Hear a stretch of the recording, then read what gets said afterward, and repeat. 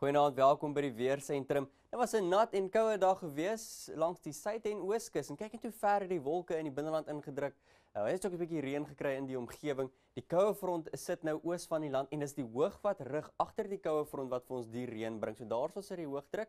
Uh die koue front wat nou verder weg beweeg in oostelike rigting, so weer reën langs die suid- en ooskus. Dit druk ver in KwaZulu-Natal in en ons kry ook die reën in die Laagveld uh, terwyl dit droog is dan van Gauteng af verder wes en warm uh, dag vir Gauteng.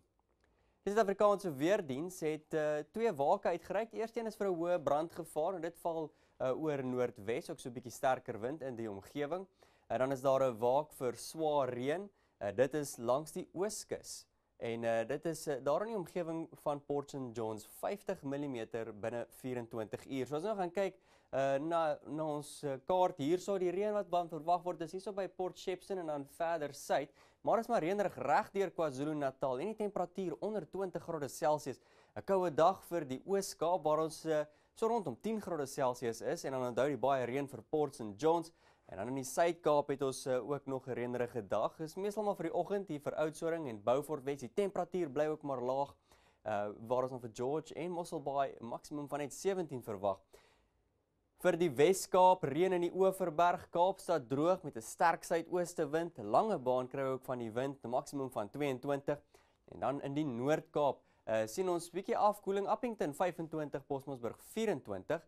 Uh, dit is maar uh, hoofsaaklik droog terwyl ons vir uh, die Vrystaat Bloemfontein op 26 het en dan Bethlehem 24 grade Celsius. Noordwes is warm en onthou ook daar is die hoë brandgevaar uh, in die omgewing.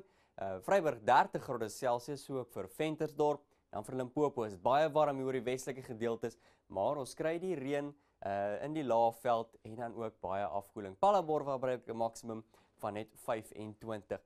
Reën ook in die Laagveld van Mpumalanga, ook op die uh oostelike platoorand, maar dan verder wes is dit droog en warm en dit is nog warmer in Gauteng, 'n uh, paar grade hoër, Johannesburg 29 en in Pretoria maksimum van 31.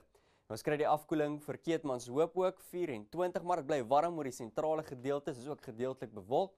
Oor die noordelike gedeeltes sien ons ook gedeeltelik bewolkte toestande, maar baie baie warm met die temperature in die middel 30s. Hier is 'n bietjie sterker wind vir Noordwes, so 20 km/h oor die sentrale gedeeltes. Kaapstad 40 km/h suidoos en dan vir Saterdag, nou het ons reën en afkoeling uh, oor Gauteng, sonnig oor die uh, westelike gedeeltes daar by Kaapstad en dan baie warm Sondag 28 en dan sien ons reën oor meeste van die land dan uh, teen Sondag. Dis al van my af. Totsiens.